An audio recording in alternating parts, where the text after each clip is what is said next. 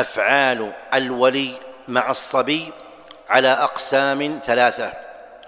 القسم الأول ما يفعله الصبي بنفسه. ما يفعله الصبي بنفسه ويباشره بنفسه.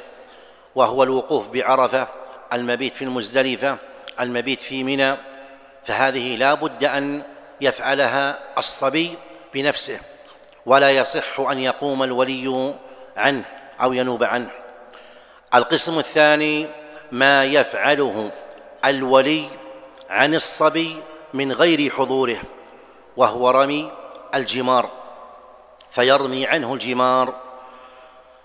والقسم الثالث ما يفعله الولي عن الصبي بحضوره وهو الطواف والسعي فيطوف به ويسعى به.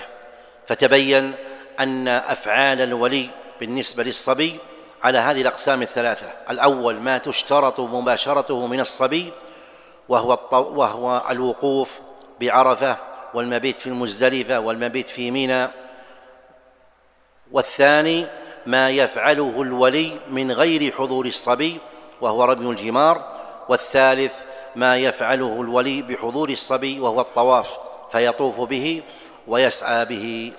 نعم.